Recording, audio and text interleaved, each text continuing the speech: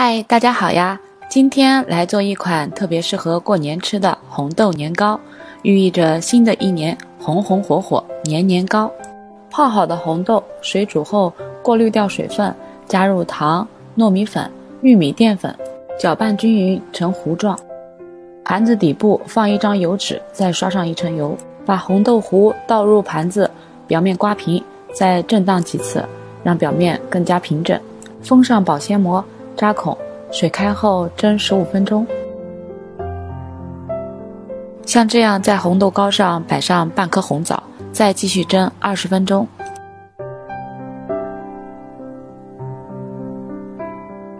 把蒸好的红豆糕取出晾凉倒扣，看这样油脂很容易就取掉了。然后切块摆盘。我撒上了桂花蜜、干桂花，还有白糖。这一口软糯香甜，还带着淡淡的桂花香，吃了年糕。